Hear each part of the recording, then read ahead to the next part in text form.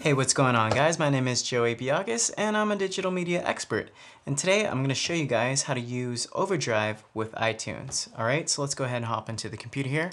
I have Overdrive already fired up. This is what the program looks like. Okay, and um, oh, one thing I forgot to notice in the beginning is you do want to make sure that you have your iPhone plugged in to your computer via USB cable. Alright, okay, now let's get back into this.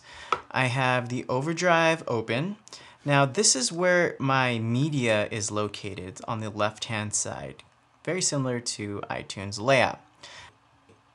Now I do have an audiobook already in my media library right here that I'm going to transfer over to my iPhone. So what you want to do is select and highlight the audio that you want or media and go ahead and hit transfer here.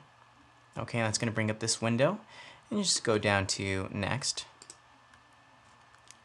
Okay, and this is where we choose which player we want.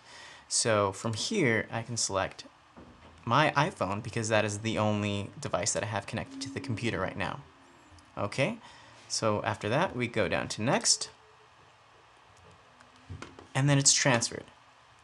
Okay, and it lets me know I can disconnect my portable player, which is basically my iPhone. So I can go down here and hit finish. All right, so that's the first part. Now we do need to go ahead and open up uh, iTunes and sync it. So I do already have iTunes open in the background here. And here's my iPhones. So now all I have to do is go down to the bottom right hand corner and hit sync and it will transfer over the audiobook into my iTunes. And that's basically it. That's how you use Overdrive with iTunes. So if you do have any other questions, please let us know and thank you for watching.